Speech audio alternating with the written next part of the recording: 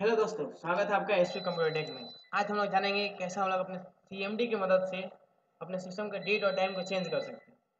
चलिए हम लोग आते हैं। सबसे पहले क्लिक करते हैं हम लोग स्टार्ट बटन पे और लिखते हैं सी एम डी जैसे लिखेंगे, हम लोग राइट साइड में यहाँ पे एक ऑप्शन दिखाई देता है रन एज एडमिनिस्ट्रेटर अगर आपको नहीं दिखाई दे कमांड पर राइट क्लिक कीजिए और रन एज एडमिनिस्ट्रेटर पे क्लिक कीजिए।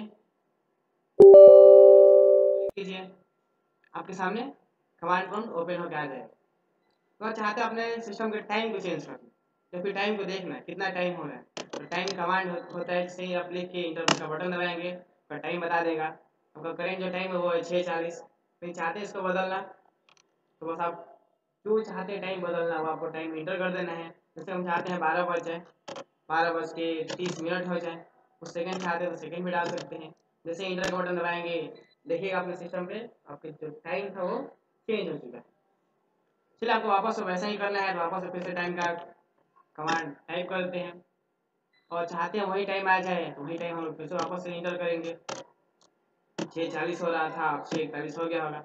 इंटर का बटन दबाएँ और आपका सिस्टम अब छः